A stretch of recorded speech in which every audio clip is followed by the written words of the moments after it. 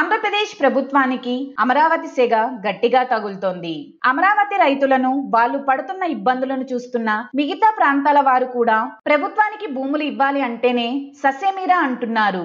ఎంత పరిహారం ఇస్తామన్నా ఏమి చేస్తామన్నా మేము మాత్రం భూములు ఇవ్వం అని అంటున్నారు. మొన్న మధ్య అమరావతి ప్రాంతంలోనే గోదావరి పెన్న మహా అనుసంధానికి భూ సమీకరణ కోసం వెళ్ళగా అక్కడ ప్రజలు అధికారులతో గొడవపడి మేము మీకు భూములు ఇవ్వం. ఎంత పరిహారం ఇచ్చినా ఇవ్వం రేపు వేరే ప్రభుత్వం వచ్చి ఇక్కడ ప్రాజెక్టు కట్టమంటే మా పరిస్థితి ఏంటి? ఇప్పుడు అమరావతి రైతుల పరిస్థితే మాకు వస్తే ఏమి చెయ్యాలి అంటూ ప్రభుత్వాన్ని ప్రశ్నించారు. అయితే ఇప్పుడు ఆంధ్రప్రదేశ్ ప్రభుత్వానికి ఇలాంటి పరిణామమే మరొకటి ఎదురైంది.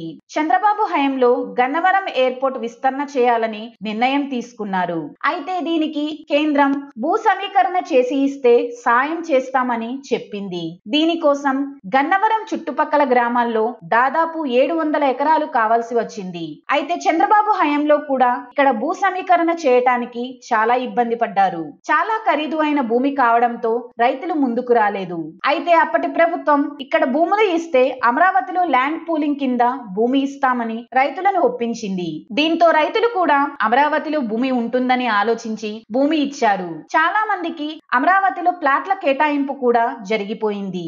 అయితే ఇప్పటి ప్రభుత్వం అమరావతి మీద తీసుకున్న నిర్ణయంతో అమరావతి నిర్వీరం అయిపోయింది. దీంతో ఇప్పుడు గన్నవరం రైతులు ఆలోచనలో పడ్డారు. ఖరీదైన భూమి ఇచ్చి ఇప్పుడు అమరావతిలో ఏమీ చేయకుండా చేస్తామంటే మాకు కుదరదు అని ఎదురు తిరిగారు.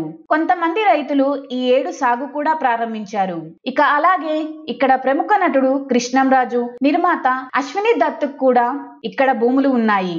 వీరి నుంచి భూమిని ఎయిర్పోర్ట్ అథారిటీకి ఇప్పించాలి అంటూ కలెక్టర్కు ఎయిర్పోర్ట్ అధికారులు లేఖ రాయడంతో కృష్ణా కలెక్టర్ రంగంలోకి దిగి వారితో సంప్రదింపులు జరిపినట్టు తెలుస్తోంది. అయితే వారు మాత్రం ససేమీరా అన్నారని సమాచారం.